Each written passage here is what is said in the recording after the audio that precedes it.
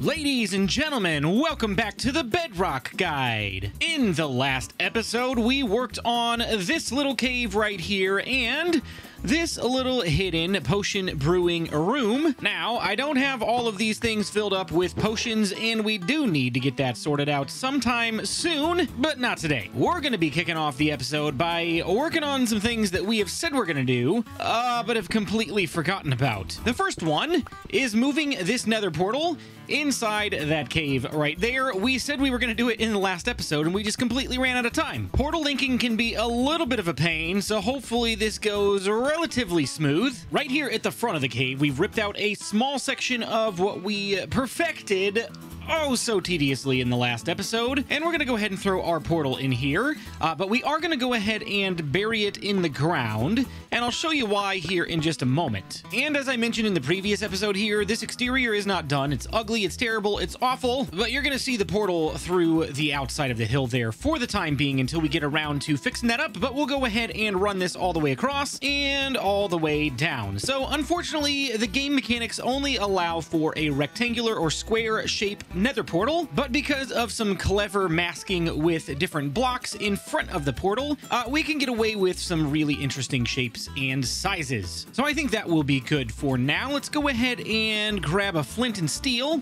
and we'll light it up. Oh, that's very nice. I really like that. Okay, so what we're to do is we're going to take some of the blocks that we dug out and we're going to fill it back in. After a few minutes and a creeper explosion, hey, that's what we've come up with. I'm really happy with that. It looks kind of like this portal has cracked through the wall of the cave. Let's go on through. It should take us to the correct nether portal on the other side, and there we go. The other thing that we promised to do that we totally forgot to do is build an input for this guy right here. This lever will activate the gold farm, which is all well and fine, until we get down to our Trident Killer and want to activate it down there. We don't have a way to do that just yet, so we need to do that. And maintenance project number two is complete. We've got our Trident Killer switch right here, and we've got our Gold Farm Torch Tower switch right here. So if we flip this up, it's going to invert this entire torch tower, which ends up right here, and it will invert the signal on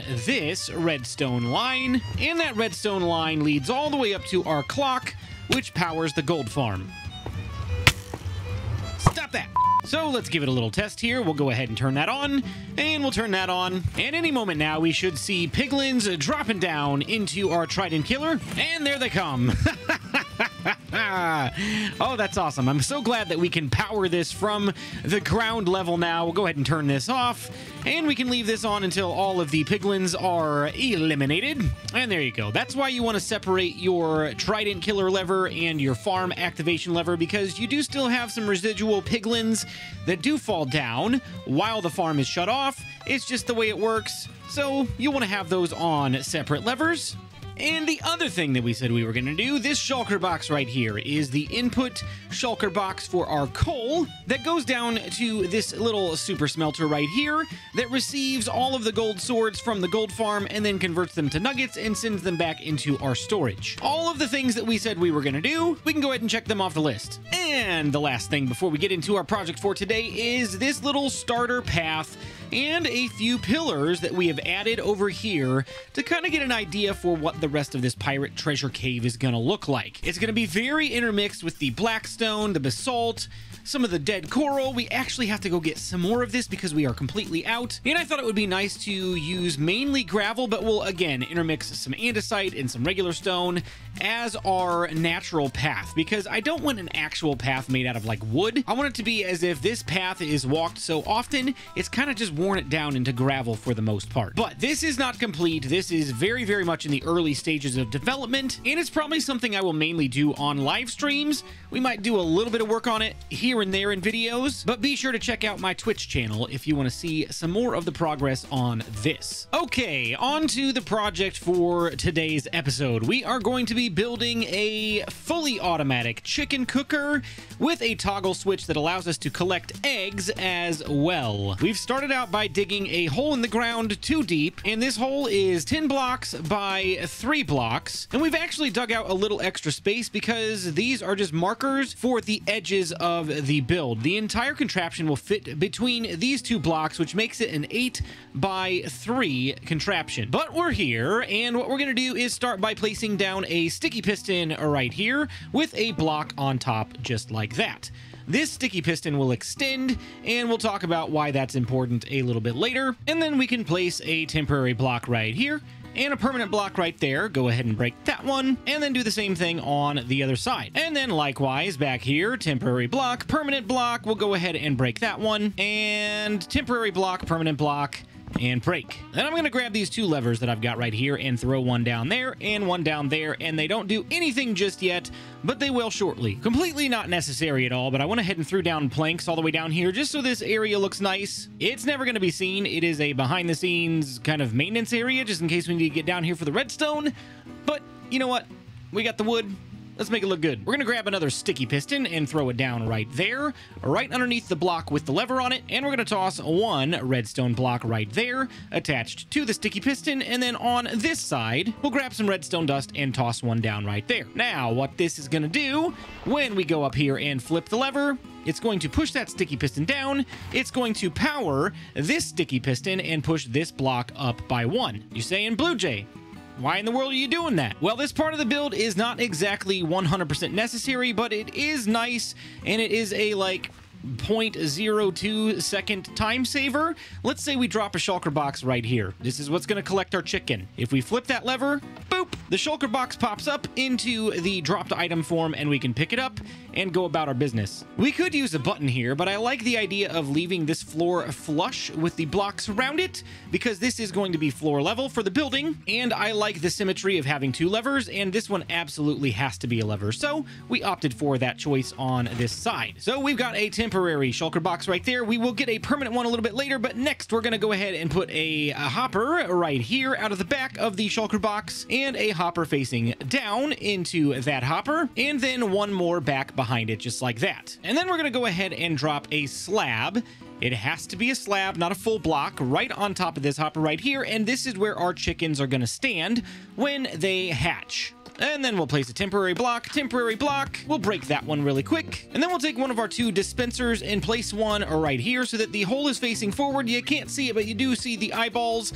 The mouth is right below this slab and it will fire out the eggs and they will hatch right here on this little slab. Then we need to make sure to take a hopper and place it directly underneath the dispenser and one more directly behind the dispenser. And then directly underneath this hopper right here, we're to crouch and place down a block right here, here, and here so that we've got a three wide platform. And then we're to bring it back three more so it is a four by three. But then we're to go over here to this corner and we're to pop this out. It is absolutely important. 100% has to be a transparent block of some sort that will not carry a redstone signal through it but is okay with redstone going on top. Basically, this block can't be powered. Then we're going to take a comparator, place it out of the back of this hopper right here, followed by a repeater. This block right here is going to be pushed up by a sticky piston when we are in the cooked chicken mode and pulled down when we are in the egg mode. So we'll leave that there for the moment and we'll place a redstone dust right here,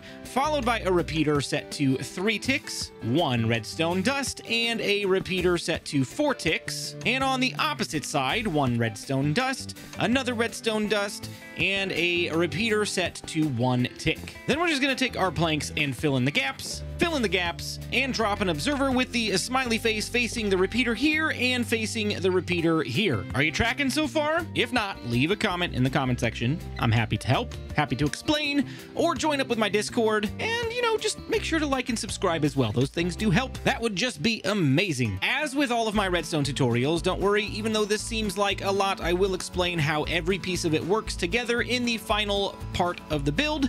So stick around for the end of the video. There's only a couple things left for this circuit to be fully functional. The first thing is to drop a solid block right here, and that completes the circuit for our dispenser to fire the eggs. Then we're to need the ability to cook the chickens once they grow up into adults, which requires another dispenser, so we're to go ahead and place a solid block right here and a dispenser right there. This dispenser is where our lava bucket is going to fire periodically in order to cook the chickens. Now this gap doesn't look very wide, but a baby chicken can stand on this little slab without touching the lava. It will not affect their hitbox. They will not start cooking. They will only cook when they grow into adults. All we would need to do to make this fully functional is place a block right here since there's no piston underneath there just yet to push this one up.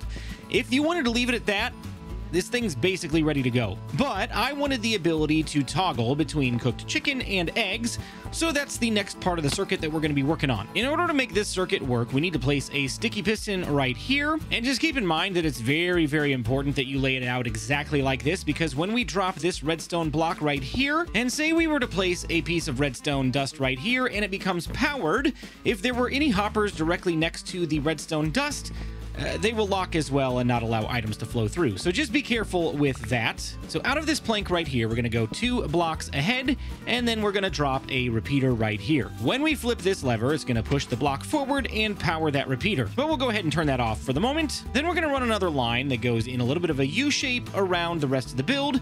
This is why it's very important that this is a transparent block. It, we're about to show you why. So we're going to run redstone dust right here, here, and here. We can go ahead and break that block. And then we'll make sure that we have an upward facing sticky piston that is directly underneath that center block. And here is the kicker right here. We're going to go ahead and place down a redstone torch. And if we were to have this torch underneath a solid block, this would power this redstone dust and keep this active and that's exactly the opposite of what we want. We just want that whole thing to be shut off completely whenever this is in egg mode. Then you want to locate this back hopper right here and place a solid block down right here with redstone, dust, dust, dust, and one redstone torch out of the side of that block right there. This redstone torch is powered off, which means that anything can flow through this little hopper right there. And by anything, I mean eggs. They will drop through this hopper into this dispenser, and because the hopper directly below it is unlocked and this circuit is shut off, this won't fire, but it will allow eggs to pass through into our storage. However, if we go ahead and flip this lever, you'll watch this go forward,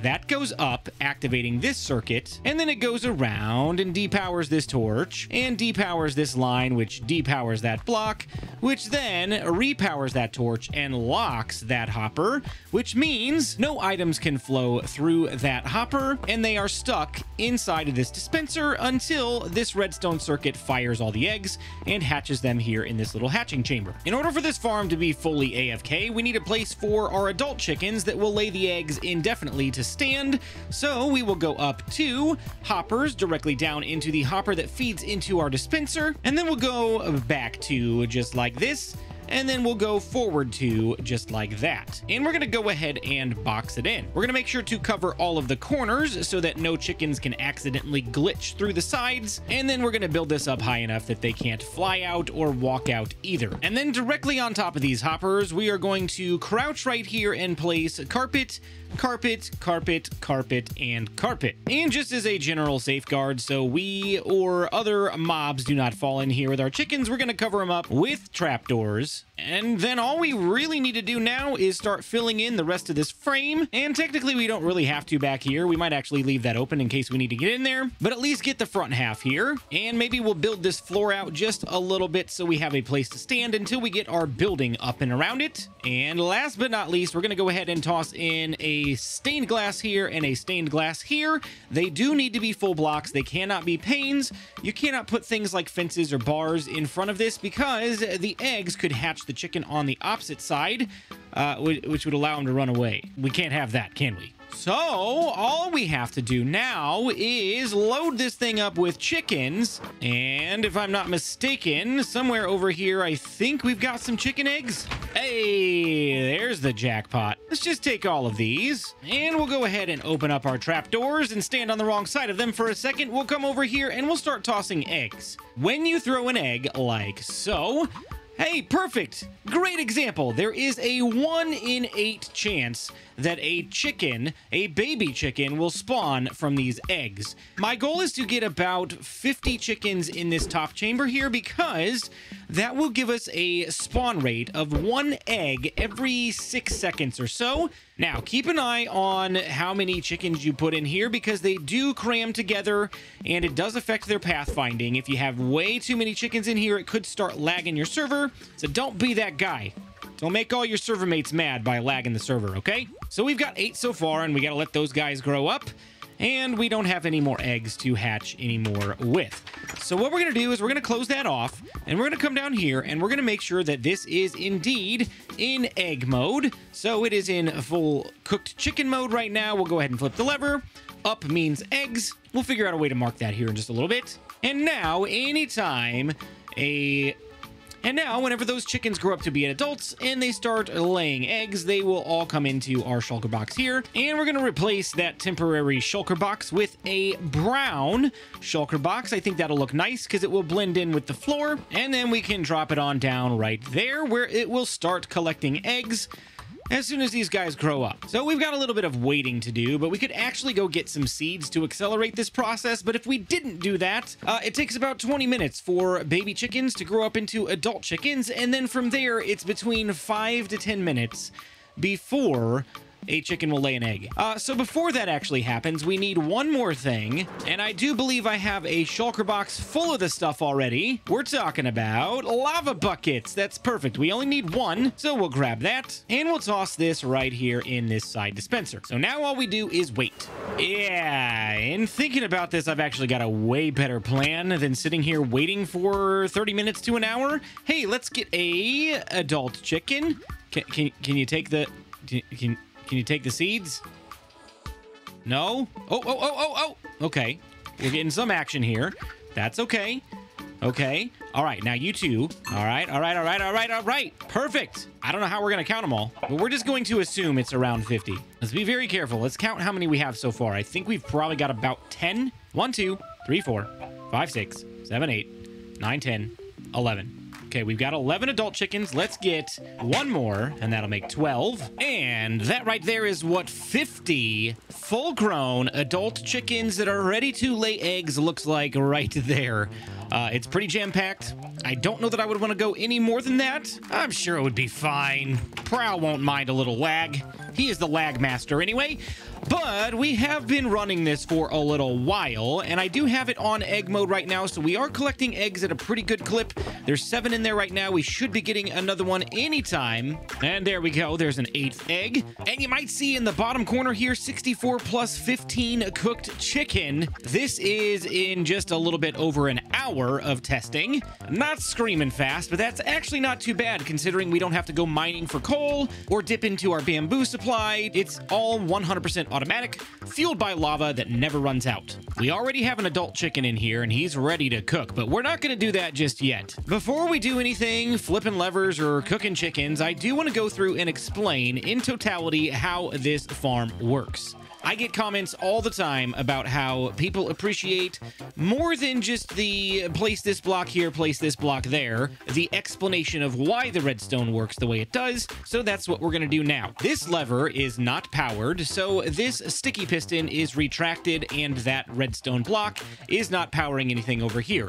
So by default, this redstone torch is on because there's nothing to turn it off, and because this redstone torch is being powered by this line from from that redstone torch, this is powered off by default, which means this hopper is completely unlocked. That's important because if we come up here and we look at our chickens, they are standing on top of that carpet on top of hoppers, and when they lay an egg, the egg will flow through the hopper to the middle hopper, which will then drop down into this hopper and that hopper and on into the dispenser. Because this circuit is completely deactivated, it's not going to do anything. The egg will not have a chance or option to be fired out of the dispenser, and so it will just drop straight through into this hopper below, which is already unlocked, and send it on into our shulker box. So you can see in the couple minutes that we've been doing this, we've already almost got two stacks of eggs. That's not too bad. Then, if we go over here, we'll flip this lever, and the next time an egg spits out of that dispenser,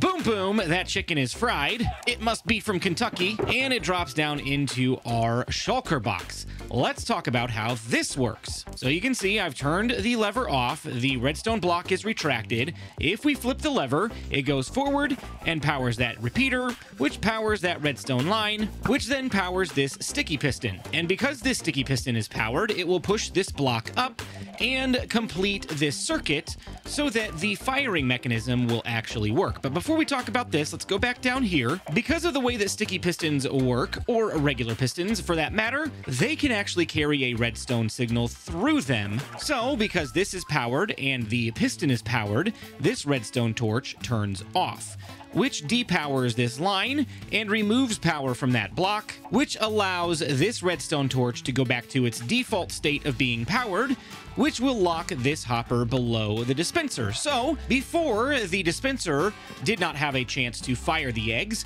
now the hopper does not have a chance to pull the eggs from the dispenser, so they just sit up there until the circuit up top here is ready to go. So here's what happens. Eggs drop down like they did before, and then when an egg reaches this bottom hopper right here, this comparator will say, hey, there's an egg in there.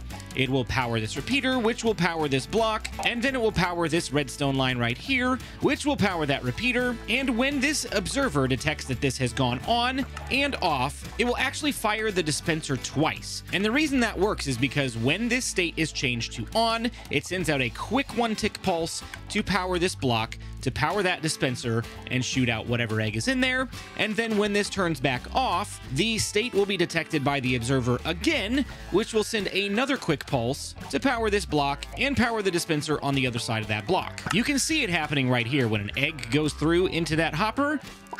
There you go. You saw the two quick ticks right there. That means that this dispenser will fire twice. So we'll go ahead and plug that back up so it actually can fire. So here's where this little line comes into play. Let's say, for example, this hopper has more than one egg in it, or more than two or three or four or five, whatever. It's not really going to matter unless that dispenser is completely full, which I don't think will ever happen. Because of the way that this is designed, it shouldn't happen. But let's say for argument's sake, it was. If this becomes backed up, then this comparator is never going to shut off if you only have this side, which means it's only going to fire the dispenser once and then it's just going to lock up and, and nothing's going to happen. So this block will power this redstone line, which will send a signal back into this comparator, which will shut it down temporarily, allowing it to redetect that there's an item in there, send another pulse through, power that, and send the items through the dispenser. Again, we're never going to have that problem because it's just designed that way. It's never going to back up. But this circuit is good for things like trash cans where you're going to send a bunch of items through into lava. Just keep this circuit in mind. Then from here, the redstone dust carries the signal on into this repeater. Same deal as over here with this observer. This will double tick this block right here, which will power on and off that dispenser, which turns on and off the lava. And with that, that is the full explanation of how this chicken farm works. Every aspect of the redstone mechanics explained. If you have any further questions, leave them in the comment section below, or be sure to join up with my Discord. I'm always happy to have a conversation, and we do have some lovely people there as well that are way smarter than me, to be honest, and they're always very willing to talk about this stuff as well. But guys, I think that's gonna do it for today. We have a completed project, sort of. This is actually going to be combined with something else I've got in mind and a nice, cool looking building to go over here on the cliffside overlooking our pirate ship and our pirate cove. If you enjoyed this episode, be sure to leave a like and a comment in the comment section. Tell me something that you learned today that you didn't know before. And don't forget to subscribe to the channel so you don't miss the next video or any other videos just like this. But thank you so much for watching and we'll see you in the next one.